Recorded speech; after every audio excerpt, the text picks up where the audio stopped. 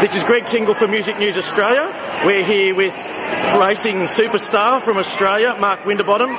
Mark, welcome. Good of, good of you to brave the roads today. Wet, wet roads here in Sydney. Did you drive yourself down here? Oh, no, I had uh, a few people looking after us bringing me here, but um, yeah, what a great what a great day. It's it's a premiere of one of the well, what will be one of the biggest movies of all time. So uh, Absolutely. How getting- popular. Getting here was easy compared to uh, how good the movie's going to be. Great stuff.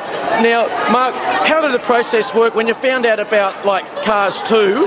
How, how did that work? And you thought, okay, yeah, count me in. I'd like to support this. Um, oh, look how big it is. I know, I know. obviously one of the one of the greatest movies. I love number one, and, and um, opportunity to be involved in number two, you, Yeah. you jumped at every bit of it. So um, uh, I just can't wait till my friends and family see the end result on the on the screen. You know, it's um, a massive achievement and Yes. something I'm really proud of, and um, I can't wait to watch it. Great. Now, and back back to your um, racing career.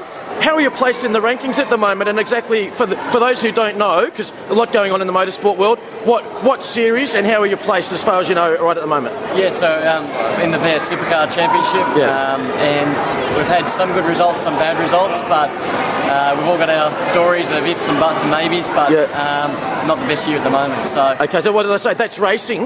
they say that's racing, but um, it's uh, quite an easy line to throw out. But hopefully, uh, all this is happening and uh, it brings me a bit of luck. Hopefully, uh, you know, I go right on the big screen, then I can Yeah. put that to the Now, track. have you, have you got a, in the actual movie? Have you got a favourite car or character or whatever? Because there's a few different personalities there, except if, you know for, for motorsport. And but what do, you, what do you sort of like about the movie? Oh, I have to say my character, I like Frosty the character, but uh, Frosty, yeah, cool. Um, you know, obviously, Lightning McQueen's one of the coolest guys. Oh, yes. that goes around. Yeah. Um, Francesco, you know, the list goes on. So, Yeah, uh, all right. It's going to uh, plenty of characters, plenty of new, plenty of old, and um, good combination. Great stuff. Well, I know you've got lots of fans here today, keen to meet with you and, and have a chat and so on. And enjoy the day. And thanks for joining us. No worries, thank Okay, you. great.